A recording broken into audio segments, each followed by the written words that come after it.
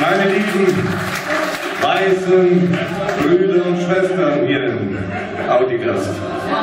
Ich möchte euch einen Mann vorstellen, der zwar nicht von einem hohen Turm zum Gebet ruft, aber trotzdem ein Schreihals ist, aus dem Land, wo die Pampelmusen und Ananasnusen sprießen. Unser kleiner Schreihals, Chalab!